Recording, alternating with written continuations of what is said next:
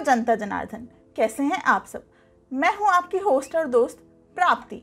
तो आज हम बात करेंगे मम्मी और आंटी लोगों के पसंदीदा टीवी शोज़ की, जिनमें हम देखेंगे कुछ ऐसी बातें जो हमारे समाज में अक्सर होती हैं, पर उन चीज़ों या उन बातों का ऐसा प्रयोग करना और ऐसे दर्शाना क्या ये सही है जिन्होंने अपने सुहाग को खोया है?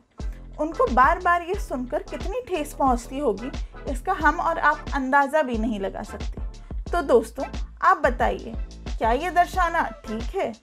ये डायलॉग सफ़ेद चादर ओढ़ ले तू, विधवा हो गई है, ये दर्शाना सही है? जैसा कि हम सब जानते हैं, सफ़ेद कपड़े या फीके रंग के कपड़े पहनना एक शौक की निशानी है। पर इस डायलॉग में इतना आक्रोश दिखाया गया है, और हर बार इसको यूँ दर्शाना ठीक है? बार बार टीज़र में चलाना, क्या ये ठीक है?